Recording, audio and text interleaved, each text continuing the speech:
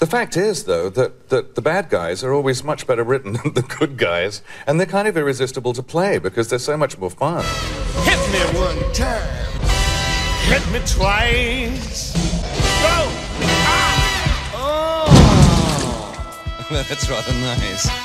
Once I charm the mermaid, my victory shall be complete. I hate singing, I hate it. I hate love and friendship.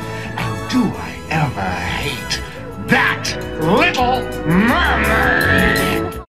The only one who apparently suffers no pain at all is that pathetic mask. I must have him to study. I shall unleash the city's underworld rabble upon that green-faced boor. Spread the word throughout the criminal grapevine. Thanks to these bells, we shall find the lost city of Tinabula. Then I shall have my weapon, and we will all be rich. I am Thaddeus E. Clang, finder of lost antiquities. this is all very moving. I had no idea you had a bride in mind already. You should have told me. Poor Haru, you must feel like such a loser. No, I'm sure you do. So look, I have a great idea. You should marry me instead. There's one of them! Stop her! Worse! The other one! oh, is that so, woman?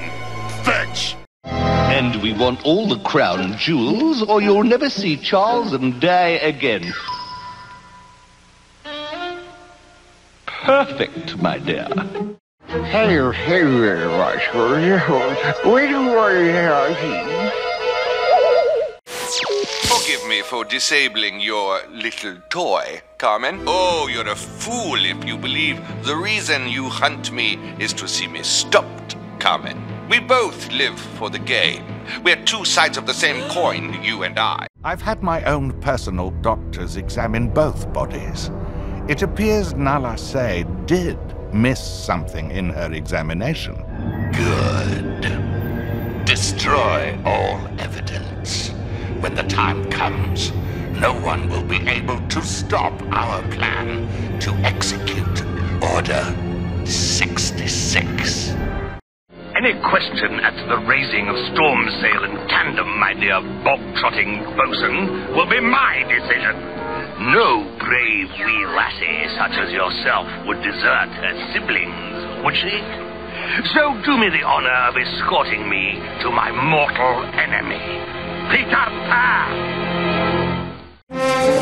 So, nerd, I hear you want to be a big ladies' man. Marina is mine. Wake up and smell the seaweed, you little fool! Nobody's going to marry a loser like you. Oh! I'm sorry if I startled you. Um, where's Adam? Come. I'll show you the sweetest delight in the garden. As a surprise for Adam. He's coming, as prophesied, to destroy me. And I'm so close to release. Go! Find him first and bring me his beating And I'll eat it raw. But I am Jules Verne. Perhaps you have read 20,000 Leagues Under the Sea? Tonight, I will announce the closing of the War Ministry, then your appointment as Minister of Science. You will attend, Julian. That is a royal order. And your plans for dismantling the military are approved as presented. I've admired your work unraveling supernatural mysteries for some time now. I mean, basically, we're in the same business of mystery and the occult, right? Listen, Velma. I'm going back to my hometown in Massachusetts this weekend. It's very peaceful and relaxing. Why don't you and your friends come visit? And you must be Garfield. I've lived your life for the past few days. Yes, if ever a man loved a cat, it's your John. Return to him, Garfield. Return to your home. Come on, Dr. Blight. You can tell your own computer. What is this secret surprise we're towing? I already did that milliseconds ago. That would be whom to thank, Mr. Mayor? And the answer would be me, Dr. Morocco, like my new breed of rescue robot. It single-handedly does the work of your entire squad. I do hope they're made of recyclable parts. This is Tonique Extraordinaire. A mere drop, and soon you will have the most luxuriant curls. Ah, Jacques Le Bif, will accept this as a deposit. Au revoir. Let me understand this, Hammerhead. You and your associates are questioning my plans? Oh, you mean when the army takes control of the weapon with its tanks and jeeps and hundreds of guards? Clovis, take us downtown. It's time I met this Darkwing Duck. Indeed, it is I. If this production is even half as bad as the long day's journey into night that your third grade class fumbled through last year, then I shall enjoy describing its every pathetic flaw and fault in my review in the bi weekly Bugle. Most foul and wicked wizard! You tempt powers beyond your grasp! You shall regret this. Well, I say we'll have it dug out in three tweaks of a tailor's moustache. That's it, Debbie. Show your grandmother the kind of spirit the Thornberrys possess. Um, yes. Well, it's a spirit of a sort, anyway. Yes, delightful, Master Charles. Clearly you have mastered the rules of tennis. I believe it's my serve. Oh dear, I have punned. No need for violence. I was merely trying to get your attention. Mutro Burta, at your service. For a price, of course. I am the Society of Assassins. I have come to you, Aladdin, because your exploits are legendary throughout the seven deserts. I need your assistance in reuniting me with my body. Destroy me! Don't worry, little genie. You shall not suffer for long. Tis the Christmas season once again. On a street called Sesame. A street where, year after year, sunny days have given way to the crisp sights and sounds of winter. And I love you, Tiffany. And I love all of you. Come on, everyone. Let's hug. Ah, perhaps a movie doesn't scare Ickis. But I think Ickis would tell a different story if Cuddles Bear was real, eh? Oh, Kayla. There's no spunk in your trunk. No pep in your proboscis. And no cause for alarm. Elephants do not forget, but sometimes they do get stage fright. Childhood, a time of innocence, a time of joy, a time of unspeakable, unrelenting tragedy. Mrs. Tickles, tell us how it feels to know you may never see your children again. And what is this how did I get out of that tree? Should have sprayed for pests. mm, lovely wings. So easily detached. That's so much better. It isn't easy being made of tin. The worst part is, I don't have a heart. I can't feel happy, and I can't feel sad. You there, turnkey. Where's the lion's friend, Mr. Oscar Diggs? Isn't he here? I don't understand. Didn't the witch take him prisoner? Not a single one. And I suspect that every alien species on Earth is represented in Undertown. Yes. I can't imagine that your collaboration with the incursion invasion helped your reputation very much. Professor Finbar Calamitus. And welcome to the last scene of the movie and your lives. Yes. Awful, isn't it? She's actually trying to bring Christmas back to the castle. And you know, know how much we despise Christmas. Sugar Plum Princess? I've never heard of a Sugar Plum Princess. Bring me the Royal Registry. And bring me the Nutcracker. When you hit those rays, you'll be incinerated. Yeah, yeah. I've always had a passion for crispy duck. We shall escape them as we escaped that dimensional prison. I have to be careful of those trying to spy on my work. There's nothing to be afraid of, Mr. Loeb. I assure you the Orangu men are perfectly harmless, unless I bid them otherwise. No, Assistant, it's a blue planet. If I want to menace a red planet, I'll say red planet. And where's the popcorn I wanted, but never asked for? My only son, your brother, died in Athens. Now their sons and daughters will die. So, you do not obey orders. Are you stupid? yes, William Tell. You are no ordinary man, so I will give you no ordinary punishment. I'm terribly sorry. Did I startle you? Hmm. Now, why have you come here? And how might I help you?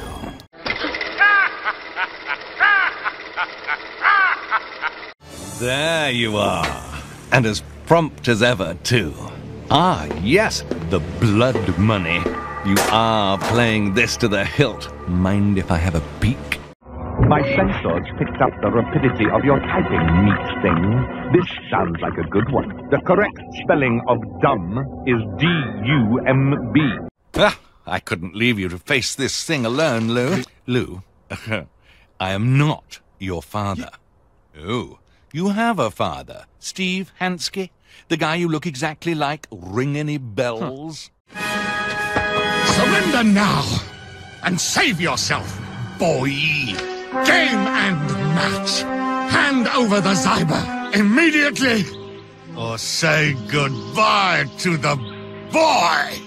Oh, I know what you're saying, folks. Good old G. Gordon's lost it. What's this? The eight billionth time he's run that clip?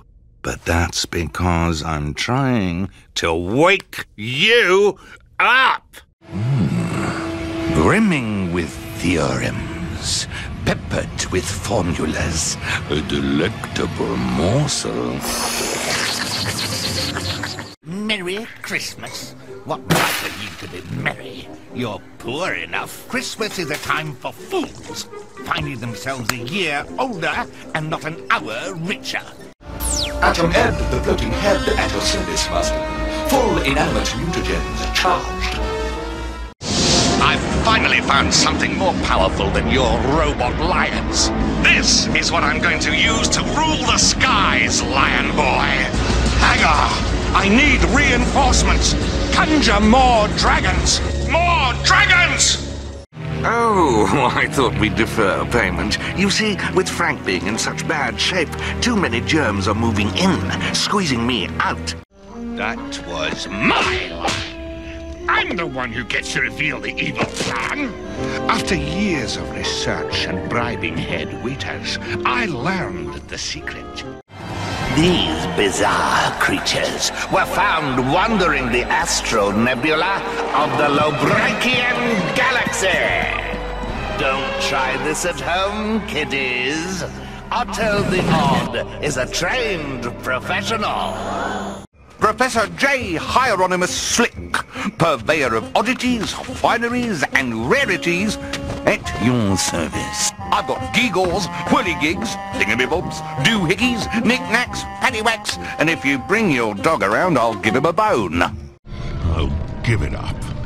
Whatever victories your demon blood grants you will soon be unraveled by your human weakness. I will find it, Mummy. And all of the secrets it holds. Then QAD will truly be the quickest package delivery service in the world. They must be desperate indeed to give the message to this putrid smelling Reject. no. Pigeon under glass. It was a lovely Liebfraumilch reduction.